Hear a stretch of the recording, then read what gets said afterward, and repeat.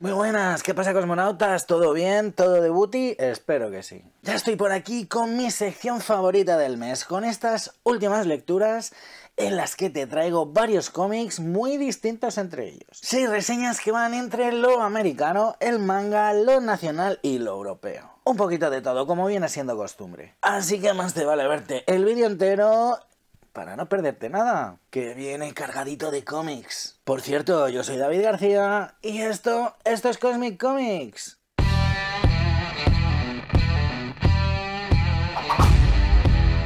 Es cierto que este mes, entre unas cosas y otras, no me ha dado la vida para traer tantos títulos como he traído estos últimos meses. Pero ojo, que siguen siendo seis títulos, que ha sido lo normal en esta sección. Este mes me he encontrado con un par de trabajos americanos que me han sorprendido. Tengo también dos mangas, bastante esperados, por lo menos en mi caso. Como siempre, apoyando al nacional y además con una propuesta infantil. Y para terminar, un europeo de corte italiano, eso sí que me ha llegado profundamente a la patata. Así que dejémonos de cháchara vacía y vacua y vamos al meollo del asunto, eh, a lo importante que son las reseñas y ya las estarás esperando. Vamos al lío. Y empezamos por el principio. Ya sabéis que siempre me suele gustar traer algo de superhéroes. En este caso, este long shot de Anne Nocenti y Arthur Adams. Una obra que cuenta además con las cintas de Wiles Portacho y el color de Christy Shield. Y es que a raíz de la lectura del sexto Marvel Gold de la Imposible Patrulla X, con la aparición de Espiral, uno de mis personajes favoritos del mundo mundial,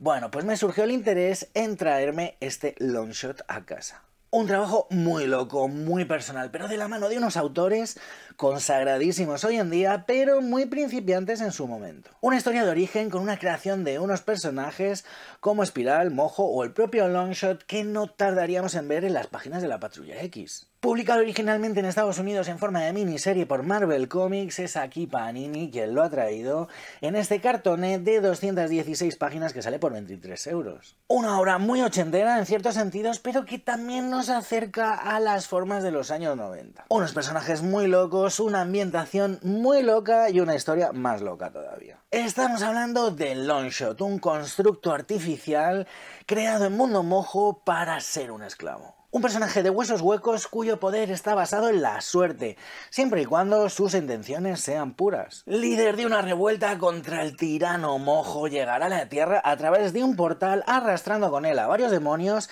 y perdiendo los recuerdos por el camino. Nocenti, Adams, Portacho y Shield crearon el que sería todo un icono de finales de los 80 y principios de los 90. Con ese mulet característico veríamos al personaje que sin ser mutante se integraría en las historias de la Patrulla X. Primero con Espiral, una de las villanas, una bruja al servicio de Mojo, cuyo diseño de personaje es uno de los más audaces de aquel momento. Una villana que pasaría a formar parte de la hermandad de mutantes diabólicos liderada por Mística, que se transformaría en la Fuerza de la Libertad, Freedom Force. Pero más allá de estos iconos, nos encontramos con una historia original que nos habla sobre la búsqueda de la identidad y del poder de la suerte. Con personajes tan carismáticos como la inimitable Rita Carambola. Vamos a vivir una historia urbana pero plagada de magia y misticismo. Una historia trepidante que quizás en algún momento se vuelve algo enrevesada, quizás por lo complejo de la propia trama llena de idas y venidas, quizás por el primerizo trabajo de un Arthur Adams aún por evolucionar, quizás también por el resultado tan estridente de la actual edición de Panini sobre el color. Un color que en su versión original funciona mucho mejor, pero que en esta edición, ya al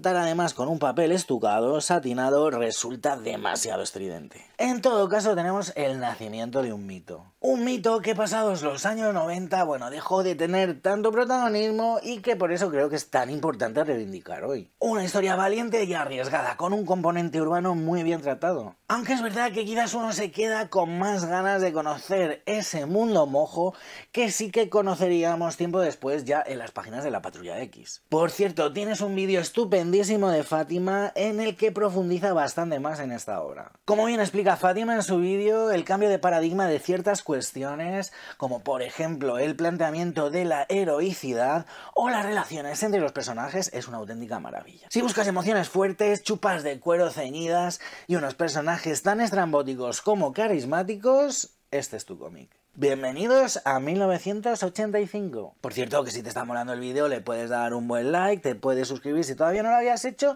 y ya sabes que si le das a la campanita activas las notificaciones para poder estar al oro de todo el contenido que sacamos aquí en Colmic Comics. Danos un like, anda, que nos viene de maravilla. Hacía tiempo que no traía por aquí nada de Star Trek. Pues toma, cortesía de Drácula Ediciones, tengo por aquí este deuda de honor nada más y nada menos que de Chris Claremont y Adam Hughes. La verdad es que nada más ver el equipo creativo es una obra que ya me convenció. Además de Chris Claremont y Adam Hughes tenemos a Carl Story a las tintas y Tom McGraw al color. Hay quien habla de esta obra como la novela gráfica definitiva de Star Trek. Yo no iría tan lejos. Me encuentro con un cómic entretenido, con mucho fanservice, bien ambientado y que sabe llevar muy bien la filosofía de Star Trek. Publicado originalmente por DC Comics, es aquí Drácula Editorial quien lo ha rescatado en este cartoné de 96 páginas que sale por 21 euros con 95. Los que me conocéis desde hace tiempo lo sabéis de sobra, soy muy trekkie, me encanta Star Trek. Me he visto todas las películas, todas las series, las antiguas, las modernas, todo.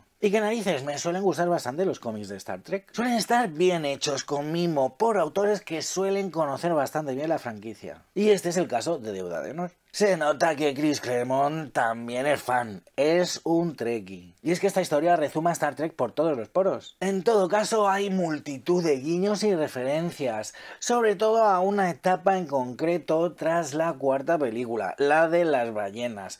Algo que no sé hasta qué punto, bueno, es beneficioso para un lector más casual no tan metido dentro del universo Star Trek. Con Claremont al timón estaba claro que la historia no iba a ser mala, y así es. Una trama muy solvente que entronca directamente con la etapa de las últimas películas protagonizadas por el Enterprise. Una historia que gira totalmente alrededor de la figura de James Tiberius Kirk, el Capitán Kirk, que ahonda en la pérdida de su hijo, en la pérdida del Farragut, con muchos guiños a la película Star Trek 4. Y bueno, con ciertos modos muy de la serie original que quizás hoy no hayan envejecido del todo bien. A pesar de que el guion está bien estructurado y bien escrito, se hace un pelín farragoso en algunos momentos. Creo que no ayuda el hecho de que el trabajo narrativo de Adam Hughes no es especialmente claro. Además de sexualizar a los personajes femeninos, cosa mala, la narrativa gráfica no es su fuerte. En todo caso, el trabajo de personajes que hace Claremont es muy fiel a los personajes de la serie original. A pesar de que Kirk tiene el protagonismo absoluto de esta historia, es una historia sobre él, el resto del elenco está muy bien caracterizado. Bones, Spock, Uhura,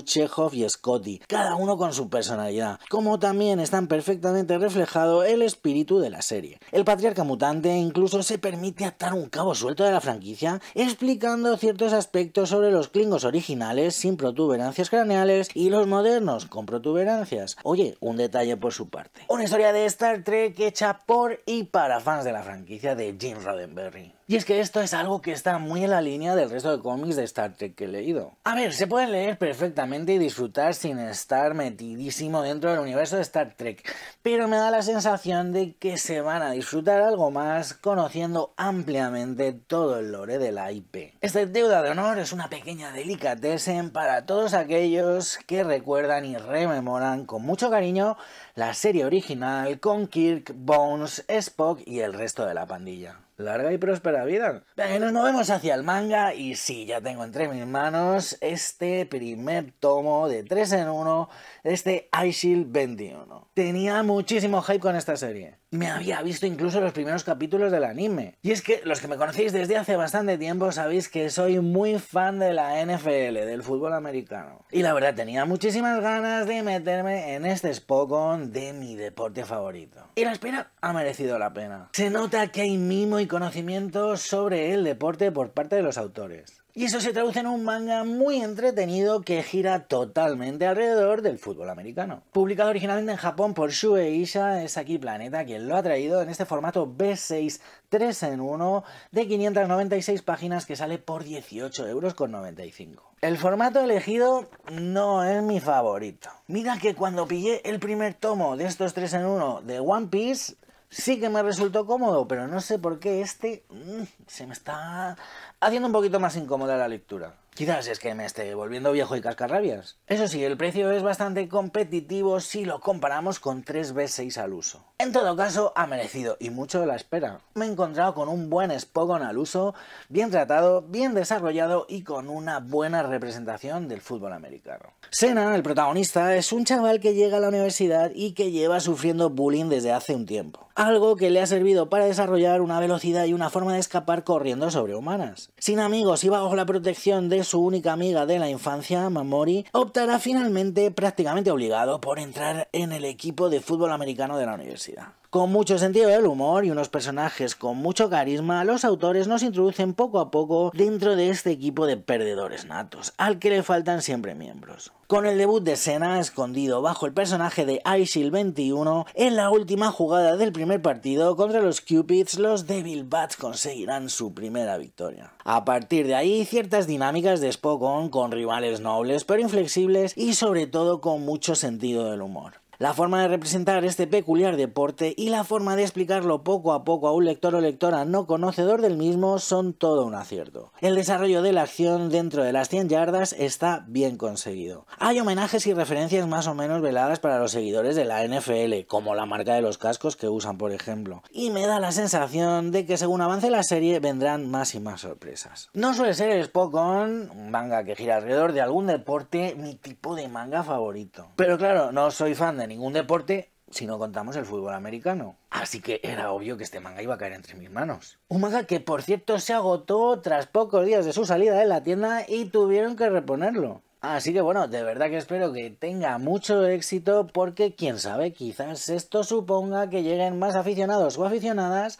al mundo del fútbol americano. Y es que es un deporte al que una vez que te acercas es imposible no engancharse por completo. Un verdadero touchdown. Seguimos en Japón, seguimos con el manga y te traigo por aquí este número uno de Dentro de Mari de Shuzoshimi. La verdad es que después del cierre de Rastros de Sangre tenía muchas ganas de empezar con lo nuevo del maestro Shimi. Y por el momento, a pesar de ser solo un tomo muy de presentación, oye, no defrauda. Parece que ha bajado un poco los octanos del mal rollo. Y aunque nos encontramos con una historia rara, porque es rara, la verdad, bueno, parece que no navegamos por las mismas aguas que en Happiness o Rastros de Sangre. Publicado originalmente en Japón por Futabasha, es aquí mi querida Milky Way quien lo ha traído en este B6 de 194 páginas que sale por 9 pavos. Y es que como el propio Shime nos cuenta en una especie de epílogo de este primer número, este manga responde a una pregunta que él se hace a sí mismo cómo se ve el mundo desde el otro género. Una premisa tremendamente binarista si me preguntas, pero que sí que es cierto que esconde una genuina pregunta sobre el entendimiento del mundo. Así, Oshimi nos presenta a Isao, un personaje universitario bastante desastre. No va a clase desde hace varios años, vive del dinero que le dan sus padres y se dedica básicamente a jugar a videojuegos y a acumular basura en su piso. Quizás la premisa de esta historia no sea muy original, ya lo hemos visto antes, una vuelta de tuerca al Orlando de Virginia Woolf, pero desde el otro lado. Isao está obsesionado con una chica a la que ve en una tienda prácticamente todas las tardes. Una mañana se despertará dentro de su cuerpo, del cuerpo de ella. A partir de aquí, Oshimi construye una historia en la que seguro que nos sorprenderá, como suele hacer, pero que por el momento recorre muy poco a poco los primeros pasos de la trama, como suele ser habitual. Si algo suele quedar claro en los mangas de Shuzo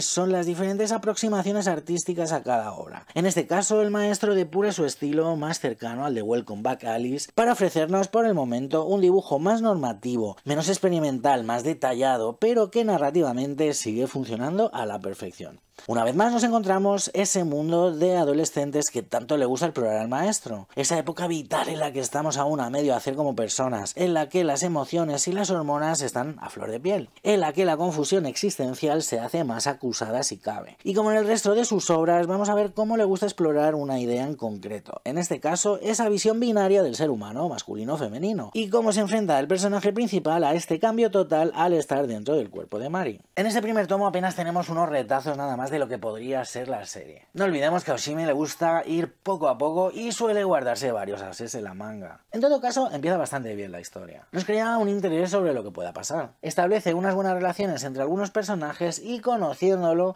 pues seguro que sabe explorar profundamente ciertas ideas. Me llama la atención, eso sí, el cambio de estilo gráfico. Muy alejado de lo Oshimi que a mí más me gusta, como en Happiness o Rastros de Sangre Sin embargo, no puedo quejarme. Está demostrando que si se lo propone, además de sucio y vanguardista, pues también puede tener un estilo más limpio, más detallado y pulcro. Tengo muchas ganas de ver hacia dónde nos lleva. Si ha habido un cómic infantil que ha llamado muchísimo la atención estos últimos tiempos es este Cosmo en el espacio de Javi de Castro. Una obra que sorprende por su formato y su premisa creativa que encantará a los más pequeños y a los no tan peques. Y es que Javi ha construido un cómic de doble lectura, un juego de narrativa muy trabajado. Y es que una vez que se llega al final del cómic hay que darle la vuelta para seguir continuándolo hasta su verdadero final.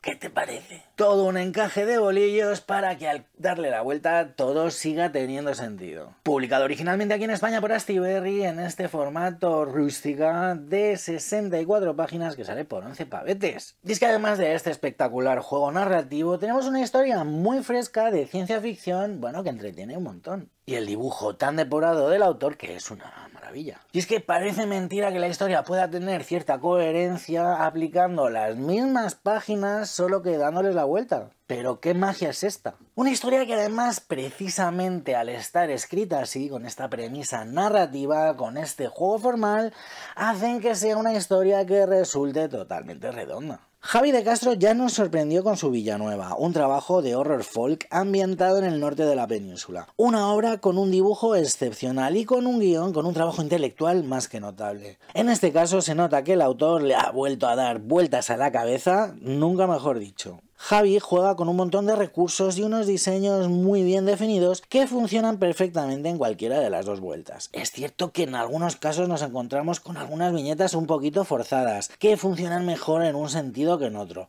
Nada, casos muy aislados, ya que el dibujo global de toda la obra es una pieza de marquetería que funciona muy bien. La sensación de ingravidez del espacio también ayuda, pero es que la historia funciona perfectamente y despertará en los más peques ese sentido de la aventura que las obras de ciencia ficción deberían tener siempre presente. Un lenguaje sencillo y directo que ayuda a su lectura y que quizás a los más mayores nos saca una sonrisa por su autenticidad. Ciertas dosis de ternura kawaii, escenarios muy bien diseñados, naves espaciales, cohetes, alienígenas y un montón de detalles que dan gusto encontrarse. Un ejercicio en todo caso de lo más interesante y original. Un trabajo que nos ha sorprendido por su capacidad de hacer sencillo lo complejo, perfectamente ambientado y dirigido a un público infantil, pero que aguanta muy bien una lectura por parte de alguien adulto. Y es que además el estilo de dibujo de Javi es una auténtica preciosidad. Estamos ante un artefacto muy bien armado. Una obra que denota muchísimo trabajo detrás. Mucho trabajo y mucho mimo. Y algo muy importante en este tipo de obras de carácter infantil Cero condescendencia hacia los lectores más jóvenes. No nos cansaremos de elogiar este tipo de obras infantiles que no dan por sentado que los niños vayan a ser estúpidos. Obras que no sobreexplican, que tratan a las niñas y a los niños como lo que son, personas de corta edad. Ojo, un público siempre exigente al que hay que entretener y mantener su atención algo que hace perfectamente este Cosmo en el espacio de Javi de Castro. Venga, ya para terminar por hoy, cortesía de la cúpula, tengo este La Casa de las Magnolias de Flavia Biondi. Una autora italiana que firma una obra con un carácter muy independiente y con muchísima personalidad. Una cosa os digo, hacía tiempo que no lloraba tantísimo leyendo un cómic. Y es que esta La Casa de las Magnolias es una obra con un tremendo componente emocional, en el mejor de los sentidos. Una historia que nos habla de la soledad, de la sororidad, de la compañía, de la salud mental de los recuerdos y de las relaciones familiares. Publicado originalmente en Italia por Pau Publishing, es aquí la cúpula que lo ha traído en esta rústica de 228 páginas que sale por 26,90 euros.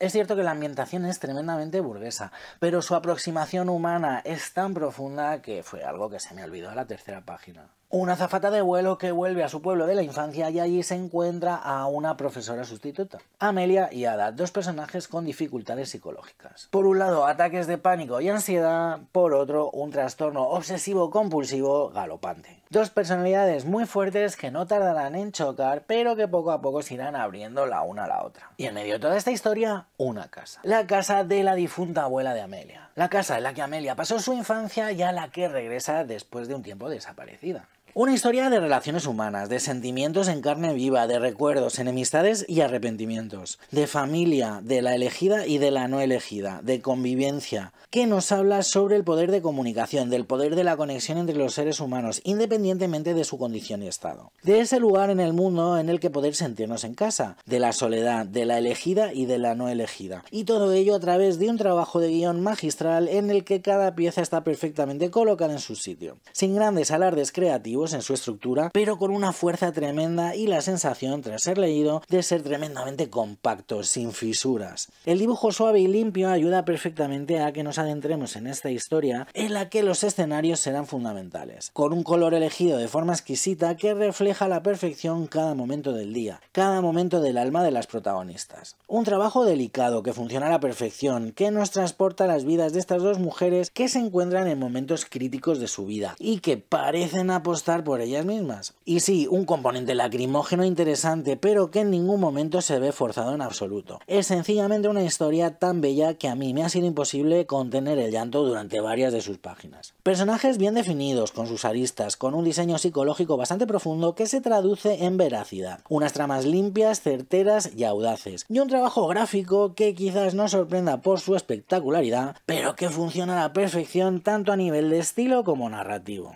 No es fácil que yo me emocione leyendo un cómic como me he emocionado con esta historia. Me ha llegado a la patata. Así que no tengo más remedio que darle mi certificado Ojo de Excelencia Cósmica por la capacidad que tiene de mostrar al mismo tiempo la fragilidad humana y su fortaleza, por la forma de conseguir emocionar al lector con una historia tan bien escrita y por ese apartado gráfico tan en sintonía de lo que se nos quiere contar. Lo he disfrutado un montón. Y es que quizás este tipo de historias a ti no te encajen demasiado. A mí me gustan un montón. Cuando un autor o una autora, en este caso como Biondi, son capaces de ahondar tan profundamente en cuestiones humanas, yo aplaudo con las orejas. Y ojo, que la edición original italiana consta como primer volumen.